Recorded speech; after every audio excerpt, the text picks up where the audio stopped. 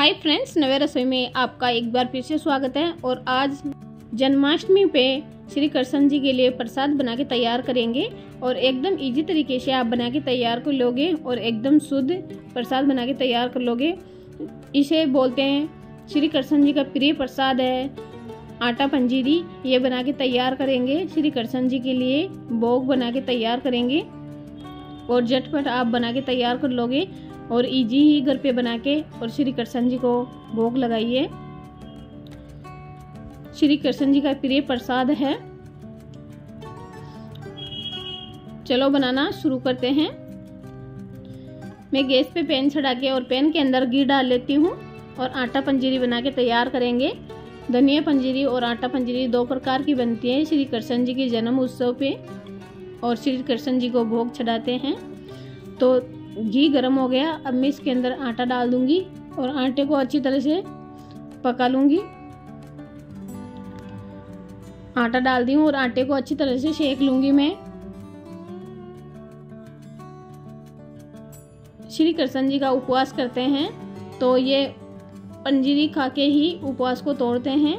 जैसे ही श्री कृष्ण जी का जन्म होता है, बारह बजे बाद में रात को उस समय ये पंजीरी बांटी जाती है और फिर सब लोग इस पंजीरी को खा के और फिर उपवास तोड़ते हैं। पहले भगवान को भोग चढ़ाया जाता है, फिर सभी भगवान के भक्तों को ये पंजीरी बांटी जाती है और फिर भगत इस पंजीरी को खा के और फिर अपना उपवास तोड़ते हैं। आटा का कलर चेंज होने लग गया तो समझिए आटा पकने लग गया है। अच्छी तरह से आटे को पकाना है, पंजीरी बनाने के लिए। तो देखिए, आपको मैं दिखाती हूँ। अच्छी तरह से कलर चेंज हो गया और आटा पक के तैयार हो गया। अब मैं इसे एक प्लेट के अंदर निकाल लेती हूँ और फिर से पैन चढ़ा लेती हूँ। पैन के अंदर फिर से मैं घी डाल देती हूँ और घी को गर्म होते ही मैं इसके अंदर ड्राई फ्रूट डाल देती हूँ। पंजीरी के अंदर डालने के लिए ड्राई फ्रूट को रोस्ट करेंगे पहले।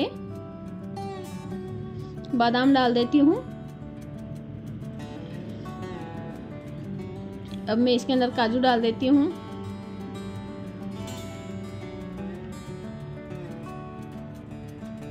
कई सोचते हैं, भाई, श्री कृष्ण जी के जन्म उत्सव पे क्या प्रसाद तैयार करें श्री कृष्ण जी के लिए? तो पंजीरी बनाइए, आटा पंजीरी बना लीजिए या धनिया पंजीरी बना लीजिए। यही श्री कृष्ण जी के, श्री कृष्ण जी को पसंद आते हैं ज़्यादा।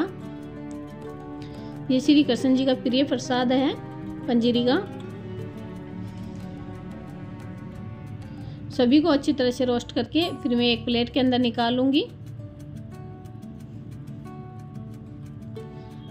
प्लेट के अंदर निकाल के और फिर इसे ठंडा करके और फिर मैं इसे कट कर लूँगी छोटी छोटी टुकड़ियों में।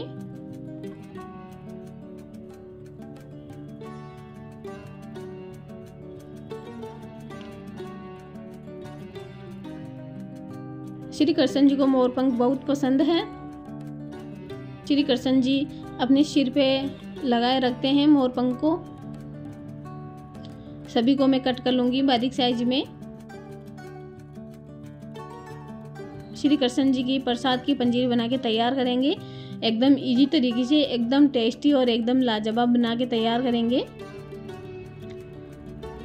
आप अपने ही घर में बना के और पंजीरी का भोग लगाइए श्री कृष्ण जी के, एकदम शुद्ध बना के। सभी को मैं झटपट कट कर लूँगी और फिर पंजीरी बना के तैयार कर लूँगी मैं।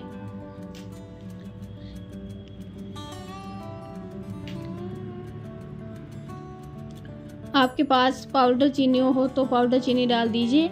ना हो तो पाउडर चीनी मिक्सी जार में डाल के मोटी चीनी को और पीस के तैयार कर लीजिए। तो मेरे पास पाउडर चीनी नहीं थी, इसलिए मैं एक मिक्सी का जार ले लेती हूँ और मिक्सी के जार के अंदर मैं चीनी डाल दूँगी।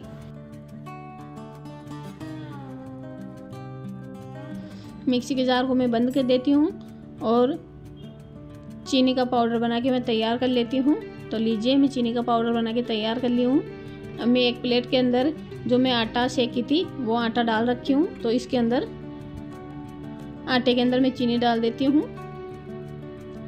अब मैं कुछ ड्राई फ्रूट डाल देती हूँ, जो मैं रोस्ट करी थी वो। और अच्छी तरह से मिक्स कर देती हूँ।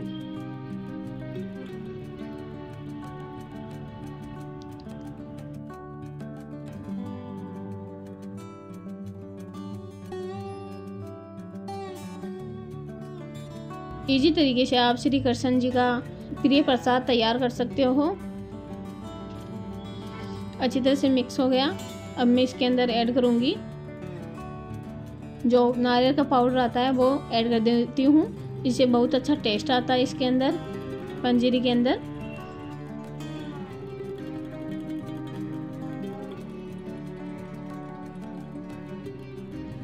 अब मैं इसके अंदर बचे हुए ड्राई फ्रूट भी डाल देती हूँ।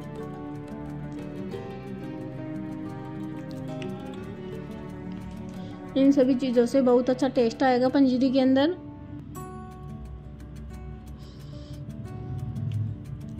अब मैं इसके अंदर तुलसी के पत्ते ऐड करूँगी। तुलसी के पत्ते से जब भी आप किसी भी भगवान के भोग चढ़ाओ तो तुलसी का पत्ता ज़रूर डालिए।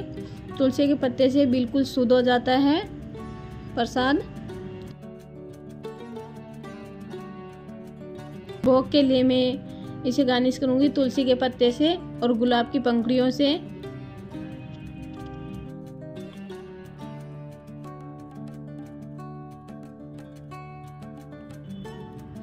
फूल तो वैसे ही श्री कृष्ण जी को बहुत पसंद है।